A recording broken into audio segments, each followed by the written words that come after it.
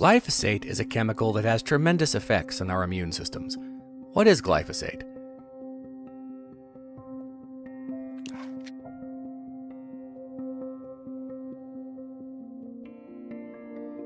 Glyphosate is a widely used and harmful herbicide used on crops and other plants to kill weeds.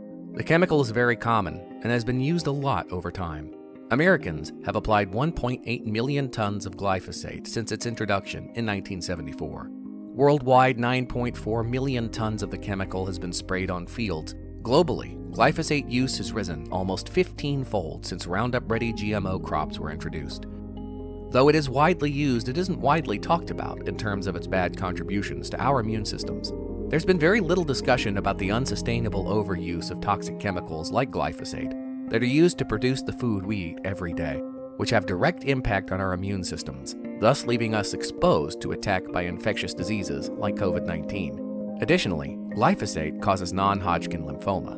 Non Hodgkin lymphoma is a lethal immune system cancer that was proven to be caused by glyphosate based herbicides.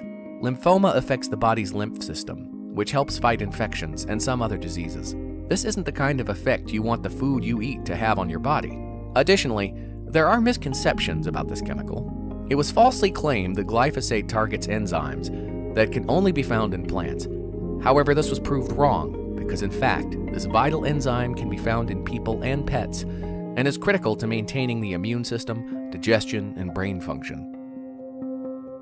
Finally, glyphosate damages microbiota. Exposure to glyphosate results to modification of the gut microbiota in early development. This bacteria that colonize our intestines helps control how our body responds to illness. These are healthy bacteria and are helpful to our immune systems. The effects of glyphosate on our immune systems cannot be ignored anymore. It is the perfect time for us to take stock of the world that was widely accepted before the COVID 19 pandemic.